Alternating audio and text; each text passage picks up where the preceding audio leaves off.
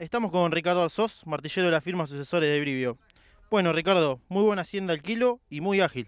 Sí, buenas tardes Loli. Eh, la verdad que sí, muy conforme.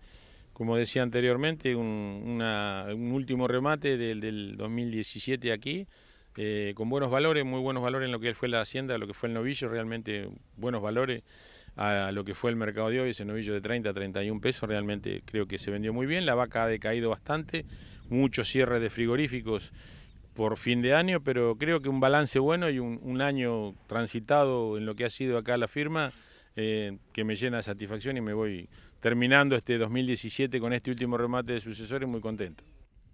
Poca hacienda de invernada, Ricardo, pero de muy buena calidad. Sí, lindos lotes de invernada. Eh, por ahí a veces cuando no tenés mucha cantidad no podés reunir cantidad de gente, pero creo que se le hizo justicia, fueron buenos valores. Así que creo que un cierre de año y de ejercicio en la firma más que satisfactorio. Bueno, Ricardo, nos vamos a estar viendo en algún que otro remate antes de fin de año, así que nada, muchas gracias por, por siempre ser diferente con nosotros y, darnos una mano en este laburo.